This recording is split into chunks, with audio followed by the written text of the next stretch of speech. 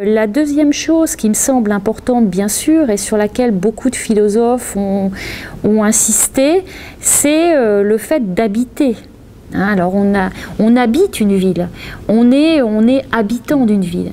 Mais quand on dit qu'on est habitant d'une ville, on dit bien plus que l'usage. Habiter une ville, et, en ce sens-là, euh, tout le monde euh, n'y arrive pas euh, forcément. Habiter une ville, c'est pouvoir l'approprier, c'est pouvoir s'y attacher. Et donc, d'une certaine manière, habiter une ville, c'est construire du durable dans le rapport à cette ville. C'est déployer un rapport affectif à la ville, affectif, euh, à côté bien sûr aussi corporel et psychique, mais c'est le fait que je, vais pouvoir créer un lien de la ville à moi. C'est-à-dire que dans la notion euh, euh, d'habitant, d'individu habitant, il y a vraiment le, passage à la, subjectivité.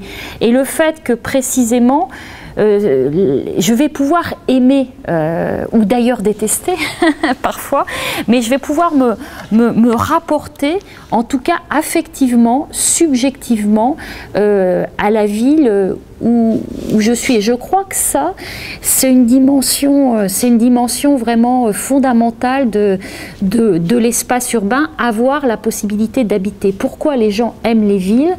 Ils aiment les villes parce qu'on a encore la possibilité d'y habiter, ou en tout cas parce qu'on désire on désire y habiter, on désire euh, s'approprier euh, le, territoire euh, sur lequel, sur lequel on vit, on désire connaître d'autres, personnes, on, désire aussi l'inconnu d'une certaine, certaine manière, tous les autres qu'on ne connaît pas et qu'on aimerait bien rencontrer.